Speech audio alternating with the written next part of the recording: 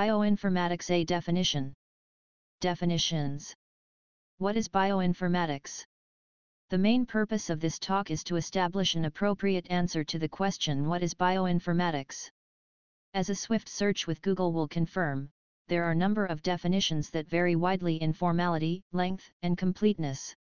It would appear that there is considerable freedom to choose a meaning for the term bioinformatics to fit different circumstances. Just search for the term with Google and you will see what I mean. Suggestions you might find range from a sentence or two to several paragraphs of deep and meaningful discussion. Perhaps the best definition will depend on the context in which it is to be applied. In our case, the course upon which you are about to embark. You will already be familiar with the primary aim of this course, which is to provide a first introduction to bioinformatics and its intended audience, which is biologists with little or no experience of using bioinformatics in their studies both of which would suggest the use of a relatively uncomplicated definition that covers all the aspects of bioinformatics that you will meet in the course of the next few weeks.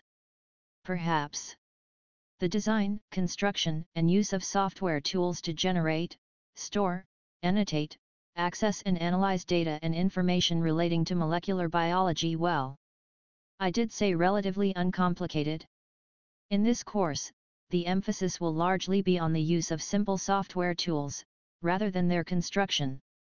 However, it is increasingly the case that basic programming skills and familiarity with statistical packages are essentials of bioinformatics, even at the introductory level. Typical projects are now are sufficiently diverse that it is not safe to assume a ready-made software tool will always be available for every purpose. Some capacity to customize and order the available analytical tools is an extremely important skill. Also many projects now require the analysis of vast amounts of sequence-related data. This is not possible without a reasonable understanding of basic statistics and a familiarity with the related software tools. In this course, the emphasis will largely be on the access and analysis of data and information rather than their generation or their storage and annotation in databases.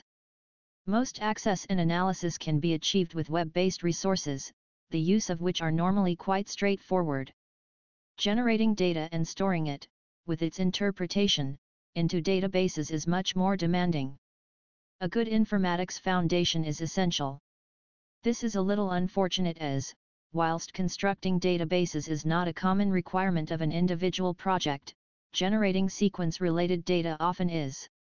However, full control over the current software tools associated with modern sequencing techniques requires a moderately good grasp of the Linux operating system as seen from the command line. Something beyond the gentle introduction you will be offered as part of this course. Accordingly, a fully consideration of modern high-volume sequencing was considered to be something best tackled separately and subsequently to the current training schedule. And now it is your turn. To think though a few simple issues.